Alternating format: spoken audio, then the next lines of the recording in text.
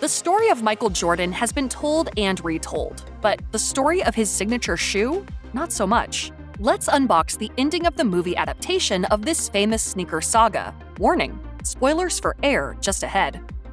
When we meet Sonny Vaccaro, Nike's intrepid basketball scout, he's presented as a gambler, a man who uses his knowledge of basketball to win money to pour into yet another bet. But the chances he takes are always rooted in his instinctive grasp of the game. In Air, Sonny's journey is another gambit, as he uses his sense of the game's cultural landscape to make a giant bet on Michael Jordan. I'm willing to bet my career on Michael Jordan. Oh, come on, man. By the end of the film, we know that Sonny's gamble has paid off. He lands the Jordan deal, gets Nike CEO Phil Knight to agree to give the Jordan family a revenue share on every shoe sold. He also wins vindication, having advocated for what everyone else at Nike thought was a crazy idea. He saw Jordan as the great player and icon that he would become, even if no one seemed to believe him but himself and Jordan's mother, Deloris. This time, though, Sonny doesn't just throw the payoff into the next gamble. Instead, he takes the lessons he learned from the Jordan deal and pours them into advocacy for still more players, eventually becoming a crusader for the rights of college athletes. Sonny has clearly grown, even if he remains a gambler at heart. As Air begins, Phil Knight is a comfortable, confident CEO who's built Nike into a major player in the sneaker market, even if the company doesn't quite compete with Converse or Adidas. Nike's a running shoe company, Phil is a runner, and these things all sit well with him. They feel like the reliable standard of business at a time when the company is facing losses, which makes him very risk adverse when Sonny suggests betting a huge chunk of his basketball budget on one player. I don't know. Seriously? But as Sonny points out to Phil more than once, Nike was built on risk and Phil's willingness to make gutsy choices on his way to the top. It's only by remembering that feeling, through the rules he's enshrined on his office wall, that Phil can start to grow and evolve Nike once again. When he focuses on his breathing, then makes the call to allow Jordan to get a revenue share on his signature shoe, it's a sign that he's seen the truth of what the path forward should be. It may seem like a nonchalant decision, but it's actually a paradigm shift for Nike's Zen master. Though Michael Jordan is the focus of every other character in Air, he doesn't get much screen time at all. Instead, the avatar for the Jordan family is Michael's mother, Deloris, who runs the family from her home in Wilmington and sees Sonny as an earnest dealmaker who could truly do something special for her son. But Deloris Jordan is not just a savvy dealmaker who understands how her son thinks and feels. In a movie full of strategists, she proves to be the greatest long term thinker. It's Deloris who advocates not just for Michael to get a lucrative shoe deal and a new car, but for Michael to work with a company that's going to elevate him to the level she feels he deserves. It's Deloris who tells Sonny what Michael will do once he makes it to the NBA, and it's Deloris who realizes that Michael has the potential to be more than just a famous athlete.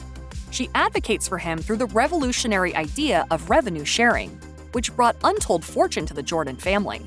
Deloris, who went on to run charities in her family's name, saw Michael's rise as something that could lift other black families alongside her own. And through her advocacy, she made that possible. Rob Strasser, Nike's long suffering basketball marketing executive, spends much of Air trying to manage everyone's expectations. He enters the movie intending to pursue multiple middle of the road incoming NBA players, trying to get the most bang out of his division's meager budget. When Sonny comes to him with the idea of pursuing a single athlete, he balks, insisting that it's the kind of decision that could lead to all the Nike basketball employees losing their jobs. Look, if anybody back there asks where I am, just tell them I'm sick. You got it. Sick in the head. But there's more to this than pride for Rob. As he explains to Sonny, he's a divorced man who only gets to see his daughter once a week, and his ability to give her free shoes and prove his worth as a guy who works at Nike is a cornerstone of that relationship. If he loses his job, he won't just lose income and purpose, but what he perceives as the best way to forge a stronger bond in his fractured family.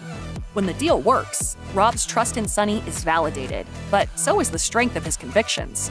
It's a moment of triumph that hits Rob on several levels, which makes it more powerful.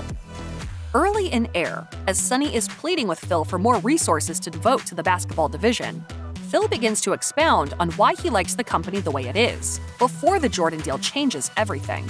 They sell running shoes, Phil argues, which are shoes that people wear while they're running. but also while they're doing errands or going to work or just hanging around the house. It's a sound business model, and while it's not built on cultural relevance, it is built on serving a very solid need. When it comes to basketball shoes, Phil estimates the market cap on the product is perhaps a million units, spread across all companies, because he just doesn't see people buying basketball shoes to wear out in the world. Signing Jordan and building not just one shoe, but an entire line around the young star changes that forever. Adidas were the cool shoes when the film began, but with Jordan at Nike, that began to shift, and soon Nike was at the center not just of basketball, but pop culture. The company changed in a matter of years, and it would never be the same again.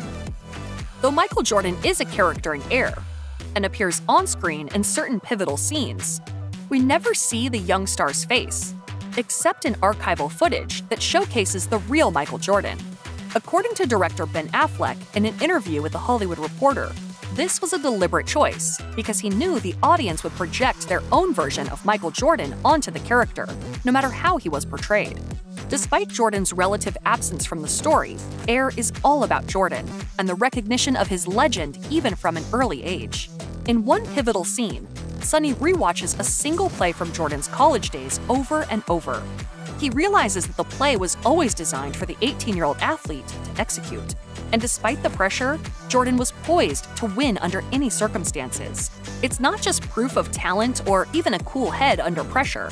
For Sonny, and eventually for Nike, it's proof of his absolute greatness, which would go on to transcend basketball and make him an internationally known figure.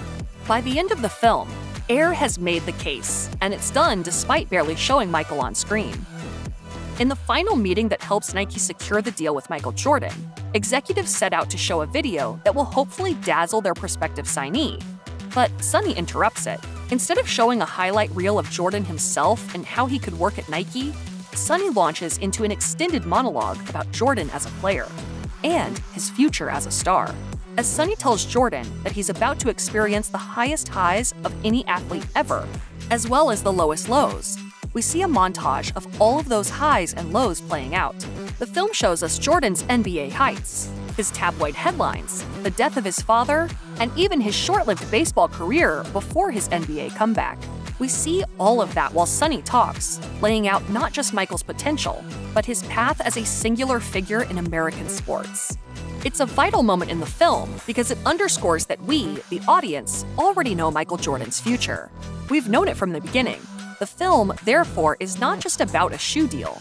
It's about a consequential moment that took shape at a key point in time and changed the world in demonstrable ways that we can still see. The NBA had stars before Michael Jordan, of course, but Air points out that through his early merchandising moves, Jordan had the potential to become a bigger star than anyone before him, and in the process, change the face of the NBA forever by building a line centered on Jordan, complete with commercials and even a logo that reflected his high flying likeness.